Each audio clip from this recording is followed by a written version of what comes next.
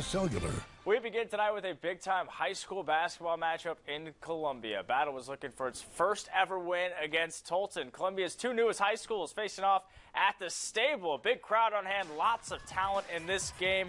Starting out with this guy, Justin Goolsby, driving and scoring out a couple acrobatic layups tonight. He finished with 17 points for the Spartans. Second quarter off the inbounds. Tate McCubbin knocks down the triple, and Battle had a 30 29 lead. There's John Jontay Porter, former Mizzou Tolton star.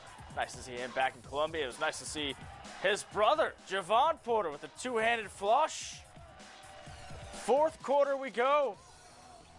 Check this out. The freshman Aaron Rowe was putting on a show, taking his man to school. The hoop plus the foul, he had 15 points. Here's the dagger for Tolton. Takai Chivas, the steal and the slam. Tolton would pull away at the end, win this one 84 to 61.